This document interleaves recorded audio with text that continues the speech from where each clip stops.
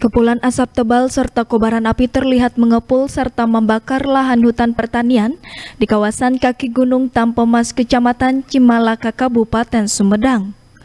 Luas lahan hutan yang terbakar diperkirakan mencapai sekitar 3 hektaran.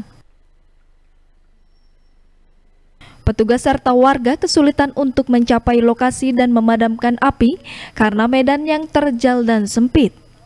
Para petugas gabungan dengan dibantu warga akhirnya terpaksa menggunakan alat seadanya seperti batang bambu untuk memadamkan kobaran api.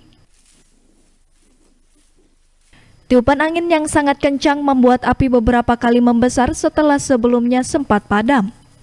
Belum diketahui penyebab pasti kebakaran yang menghanguskan 3 hektar lahan tersebut. Berdasarkan keterangan petugas, kebakaran lahan terdapat di tiga titik di kaki Gunung Tampomas.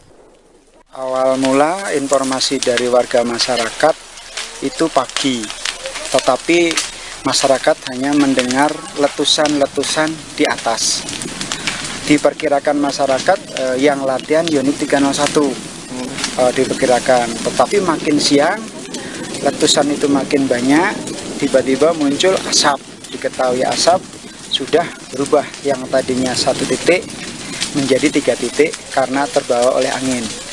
Hingga saat ini petugas gabungan serta warga masih berjaga di lokasi karena khawatir api kembali muncul dan membesar dengan cepat karena tiupan angin di lokasi sangat kencang. Diki Guntara, Bandung TV